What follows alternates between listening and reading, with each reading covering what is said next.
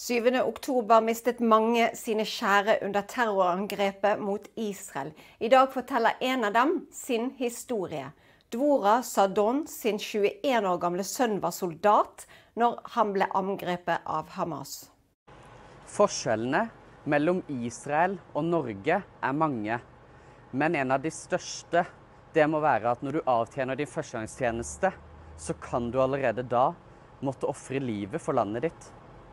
Dvora Sadon forteller om sin kjære sønn, eldste sønn, 21 år gammel Halel, som døde 7. oktober da Hamas angrep Israel. My son is, uh, his Halel. He's my oldest son. Ha I have five boys. He was 21 years old and he was a soldier in the army. We were at home. It was a holiday for us and we don't use phones on holidays. And where we live, we, there were no sirens, so we didn't know anything was happening.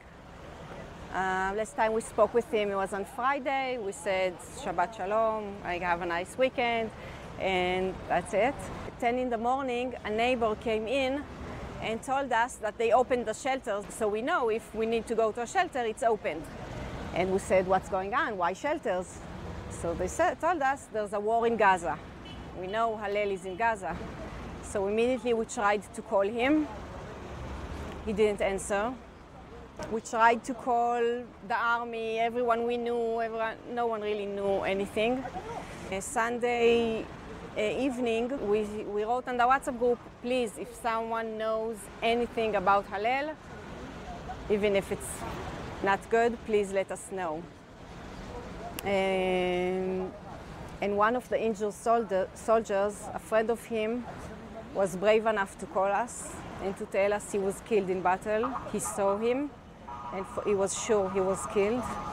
It's very brave of him. He saved us more hours of, of not knowing what's going on when we thought we were going crazy. Until the army came to us, we didn't know if he was kidnapped or not because his friend told us, I saw he was killed. I don't know what happened with the body after that.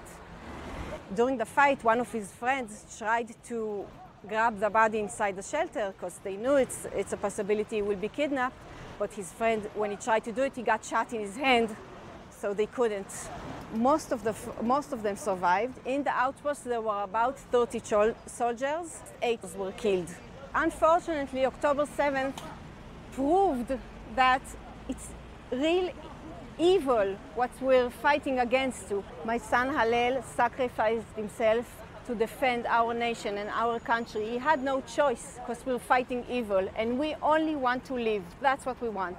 And that's what my son sacrificed himself for.